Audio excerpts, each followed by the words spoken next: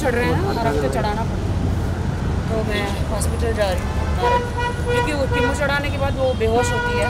होश में आने के बाद ही जाना पड़ता है।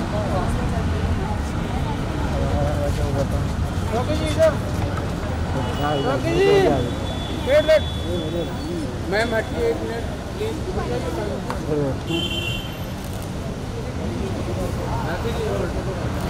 thank you ma'am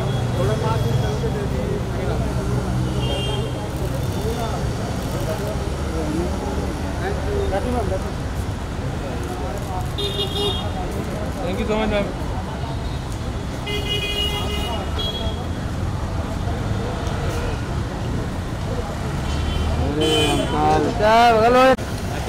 कैसा था फिर उनका मैम हाँ, कीमो चढ़ा रहे हैं ना?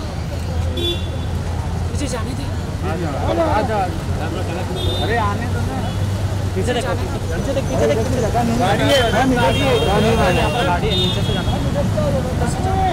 जाना नीचे नीचे भाई सदा हट अरे थैंक यू सो मच आ जाओ ना इस तरफ़ इस तरफ़। बस बस। आराम पीछे राकेश जी और मम्मी को देखना। मम्मी